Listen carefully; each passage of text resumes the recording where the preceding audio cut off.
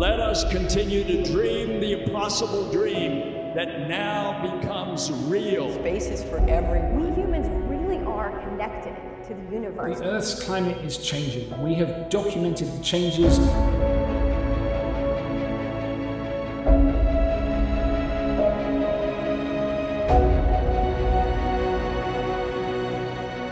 we have touchdown!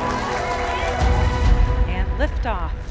Starliner is headed back to space on the shoulders of Atlas.